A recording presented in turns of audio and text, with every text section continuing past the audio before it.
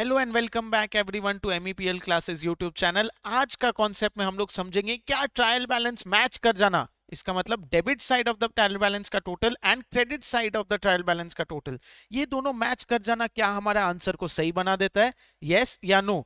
Generally जब पहली बार कोई ट्रायल बैलेंस करता है, उसको ये लगता है कि हाँ मेरा डेबिट साइड के टोटल्स आ गए हैं one lakh rupees credit side का टोटल भी आ गया वन लाख रुपीस तो इसका मतलब मेरा आंसर जो है मैच कर गया मतलब मेरा आंसर सही है।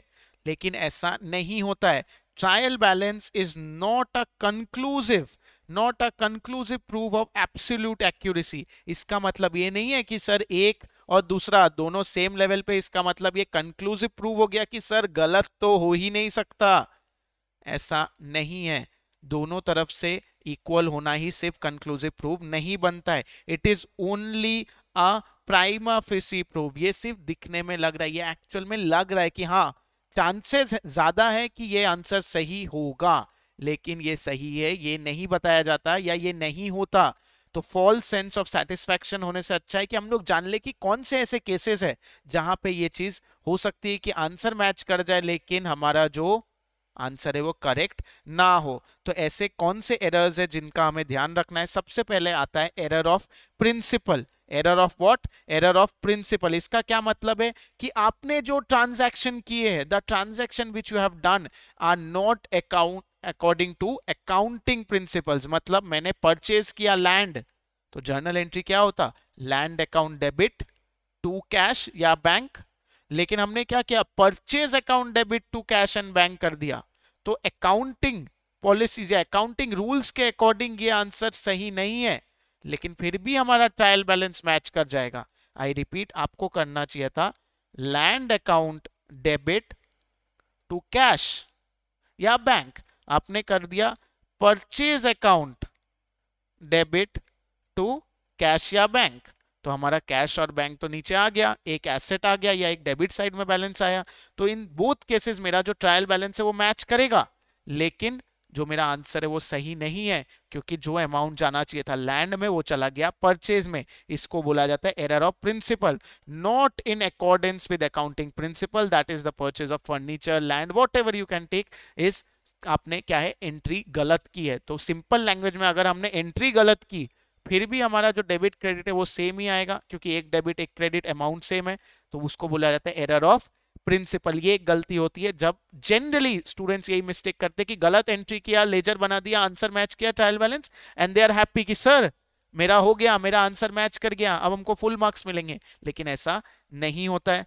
नेक्स्ट आता है ओमिशन और डुप्लीकेशन सर ओमिशन तो हमें पता है, क्या किया? पूरा ट्रांजैक्शन ही हटा दिया। क्या क्या हमने पूरा ट्रांजैक्शन हटा दिया? इसका मतलब जो ट्रांजैक्शन करना था वो किया ही नहीं। तो ना वो क्रेडिट को कमा पाया, ये transaction for example purchase to sales या परचेज टू कैश हमने किया नहीं। मतलब परचेज अकाउंट भी मेरा नहीं बढ़ा कैश अकाउंट भी मेरा नहीं कमा तो बेसिकली दो गलती मिला के बैलेंस हो गई। बोला जाता है ना, दो लोगों की गलती हुई तो बैलेंस हो गया, लेकिन एक्चुअल में N I for N I does not make a good sense तो वही चीज़ यहाँ पे है कि एंड आप एक गलती किए दैट इज़ ओमिट कर दिए, और दूसरा आपने क्या गलती किया? फ़र्स्ट ओमिशन सेकेंड हो गया डुप्लीकेशन डबल टाइम कर दिया। तो भी आपका आंसर सही आएगा। दैट इज़ द टोटल सही आएगा। आंसर तो अभी भी गलत है। तो सबसे पहले हमने क्या किया? एरर ऑफ़ प्रिंसिपल कि हमें पता ही नहीं था कौन सा रूल फॉलो करना है। हमें एक जर्नल एंट्री पास किया। हमारा ट्रायल बैलेंस मैच किया, लेकिन हमारा आंसर गलत। सेकंड आया ओमिशन या डुप्लीकेशन करना। थर्ड आते error of original entry if the amount of transaction is entered is incorrect हमें करना था टेन थाउज़ेंड डेबिट दोनों में उसकी जगह हमने कर दिया one thousand debit and credit तो भी हमारा जो टोटल है मैच करेगा। लेकिन हमारा आंसर तो अभी भी गलत है। तो नेक्स्ट टाइम जब ट्रायल बैलेंस बनाएँगे, इन चीज़ों का ज़रूर ध्यान रखना है कि ये चीज़ें सिली मिस्टेक्स के होती है कि अमाउंट हमने गलत लिख दिया। हमारा आंसर तो टोटल में सही आ रहा है दैट इज़ टोटलिंग सही हो रही है, लेकिन जो हमारा ओवरऑल आंसर है वो गलत है। तो ये हो गया error of original entry questions भी आते हैं तो जिन लोग 11 के लिए प्रिपेयर कर रहे हैं, उनके लिए ये नाम याद रखना भी ज़रूरी है। That is error of principle omission duplication error of original entry फिर आता है error of commission error of what commission when the wrong account is debited और credited these errors differ from error of principle in so such that they occur in accounts of the same class क्या हुआ? Wrong account debit credit लेकिन same class of account sir वो क्या हुआ? जैसे तीन types of account पढ़े थे पर्सनल रियल नॉमिनल अगर याद नहीं है यूट्यूब पे, हमारे एमईपीएल क्लासेस यूट्यूब चैनल पे, वो भी आपको मिल जाएगा कि जर्नल के कौन से कौन से अकाउंट्स होते हैं रियल पर्सनल नॉमिनल और उसके क्या रूल्स है? तो coming back to the point omission या फिर प्रिंसिपल में क्या था? प्रिंसिपल में हमने पूरा प्रिंसिपल ही गलत किया मतलब हमें जाना था लैंड में, हम चले गए परचेज में। कमीशन में क्या है? आप लैंड की जगह परचेज मतलब एक खर्चा और एक एसेट में नहीं जा रहे, आप दूसरा एसेट कर दिया। लैंड अकाउंट की जगह आपने लिख दिया, आपने लिख दिया फर्नीचर अकाउंट तो बेसिकली दोनों में एसेट क्रिएट हो रहा है। कोई क्लास ऑफ़ द अकाउंट अलग नहीं है, लेकिन जो एंट्री है वो गलत हो जाएगी। तो error of commission and error of principle में ये डिफरेंस होता है। तो चार एरर समझ में आए। लास्ट वाला एरर आता है कंपनसेटिंग एरर क्या है sir compensating error what do mean by compensating error कि टू और more mistakes in the book will result in cancelling of each other the most common error कि दो से ज़्यादा गलतियाँ कर दी और ऑटोमेटिकली किसी तरीके से आंसर मैच हो गया। बहुत बच्चे ये करते हैं। पीछे बुक में आंसर दिया हुआ है। सर टोटल तो देखिए मैच हो गया है। लेकिन कितने सारे एरर्स हमने किए होंगे वो टोटल को मैच कराने के चक्कर में। सस्पेंस अकाउंट डाल दिया।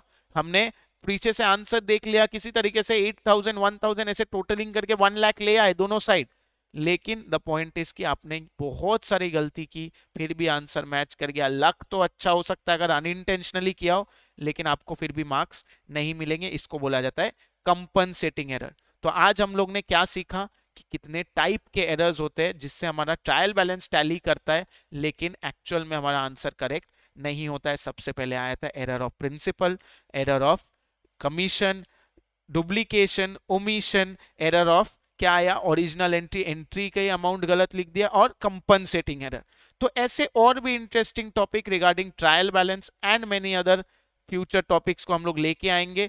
In MEPL classes YouTube channel तो जल्दी से इसको सब्सक्राइब कर लीजिए। इस वीडियो को ज़्यादा से ज़्यादा शेयर एंड लाइक कीजिएगा so that I get the motivation to do more such videos and stay tune to this channel इसमें बहुत सारे कॉन्सेप्ट के वीडियोस क्लासेस के वीडियोस कंटिन्यूसली आते हैं for professional course as well as 11 and 12 तो do subscribe this channel and share it with your friends till the next time take care and bye bye